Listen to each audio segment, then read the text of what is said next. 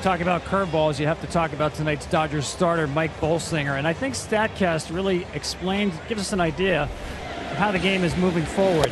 You know, Bolsinger has a good curveball, but the Dodgers really signed him in part because his spin rate is so high. And here we can see the spin rate from StatCast, powered by Amazon Web Services. He will throw this pitch about 40% of the time. And the Dodgers, when they scouted him last year in the Pacific Coast League, you see the spin rate there, almost 2,400 RPMs. They thought that the altitude, and it's a hitter's league in the PCL, really was taking away the effectiveness of that curveball. And we look at some of the fastest spin rates on curveballs, guys. That's some of the best curveballs in the league. And in fact, Collin McHugh is another StatCast kind of story.